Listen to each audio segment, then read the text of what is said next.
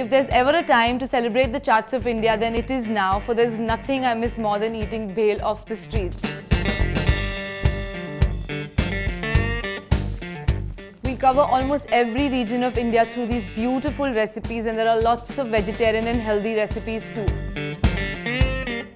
My new show, Chaats of India, drops in every week.